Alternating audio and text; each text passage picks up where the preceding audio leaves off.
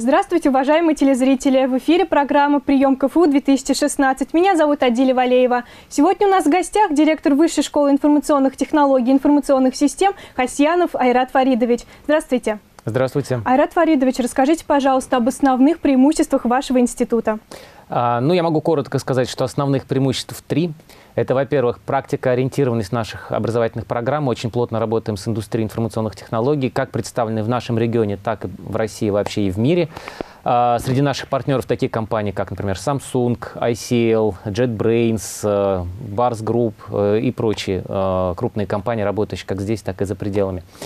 А, второе существенное преимущество – это наши образовательные программы. А, мы их регулярно обновляем, а, и в рамках одного стандарта образовательного мы предоставляем порядка 20 треков, которые складываются из 7 обязательных и еще 13 дополнительных. Студенты могут слушать как один, так и несколько дополнительных треков в процессе обучения. Все эти учебные программы мы пересматриваем каждый семестр, так, чтобы они соответствовали как состоянию рынка, так и состоянию информационных технологий в целом. Ну и третье наше преимущество – это Казанский федеральный университет – это один из лучших университетов России, по моему мнению, лучший университет России. А, и а, мы можем дать в университете а, прекрасный фундамент как в области математики, так и в области программирования, алгоритмирования, структур данных. И на всех базовых курсах мы полагаемся на лучшие кадры, которые в университете есть. То есть мы не дублируем кафедры, например, мы не дублируем кафедру алгебры, мы не дублируем кафедры теоретической кибернетики.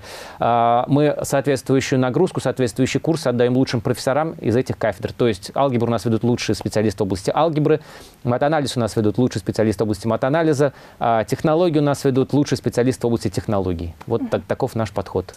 А в каких компаниях проходят стажировку студенты? Ну, стажировку студенты проходят, конечно же, в самых лучших. То есть это и в Яндексе, и в Samsung, и где угодно. То есть наших студентов берут на расхват. А, Стэнфорд очень хотел видеть наших студентов. А, а, мы эту программу, к сожалению, не смогли развивать дальше, поскольку позиция Стэнфорда была такая. Мы ваших студентов будем забирать, наших мы присылать не будем. Вот. Ну, посмотрим, как будет развиваться дальше. Я надеюсь, что спектр площадок для стажировок для наших студентов только будет расширяться, конечно. А как обстоят дела с трудоустройством выпускников? А, в прошлом году у нас был первый выпуск, э, трудоустроились 100%. Э, резюме наших студентов э, лучшим компаниям, крупнейшим ведущим компаниям России разослал министр э, телекоммуникации и связи Российской Федерации э, Николай Анатольевич Никифоров, за что им огромное спасибо. Наш, вообще говоря, факультет, наш институт, э, это детище вот э, Николая Анатольевича, э, Ильшата Равкатовича, э, которые решили, что нужно как-то разрыв между э, предприятиями, между бизнесом и академией сокращать. И вот был, была создана Высшая школа информационных технологий информационных систем. Я благодарен Николаю Анатольевичу, что он до сих пор активное участие принимает э, в жизни и развитии нашего института. Вот, соответственно, Соответственно, они все трудоустроились. Более того, они все получили более чем одно предложение для на трудоустройство. Все они работают в очень интересных, успешных компаниях. А, даже те, кто собирался уехать из региона по окончании, в итоге не уехали. Я их вижу в IT-парке, например, я их вижу в крупных компаниях а, Республики Татарстан. То есть им сделали очень выгодные предложения, которые смогли превысить их ожидания, очевидно. А, и сегодня вот у нас проходила защита дипломных работ. Дипломные работы очень, очень сильные. У нас в этом году будет большой выпуск, 150, более 150 человек. А, и уже сегодня все они, в общем-то, имеют предложение о трудоустройстве более чем одно. А есть ли какие-нибудь изменения в приеме 2016 года? В первую очередь то, что мы теперь и формально по документам соответствуем своей сути, мы принимаем на направление программной инженерия. Это приоритетное направление, оно в, в перечне приоритетных направлений Министерства образования и науки фигурирует. Помимо этого э, планируется некая корректировка стоимости обучения, которая э, будет сообщена дальше. Ну, мы каждый год э, обязаны корректировать стоимость обучения в соответствии с инфляцией. То есть будет повышаться цены?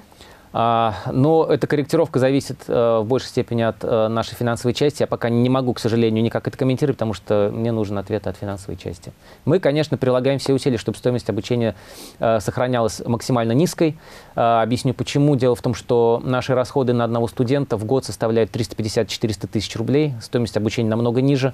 Вот. Разрыв между стоимостью и себестоимостью мы сокращаем за счет наших партнеров, наших спонсоров, которые как деньгами, так и живой силой, э, то есть преподавателями э, помогают нам э, выстроить лучший возможный учебный процесс.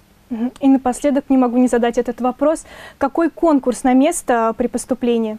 Конкурс у нас обычно не самый высокий, это 5-6 человек на место, но при этом у нас самый высокий минимальный проходной балл по всей Российской Федерации по итогам вот, приема этого года, ну, прошедшего приема. То есть самые умные абитуриенты выбирают наш факультет в России вообще. Вот. А, именно по нашему направлению подготовки.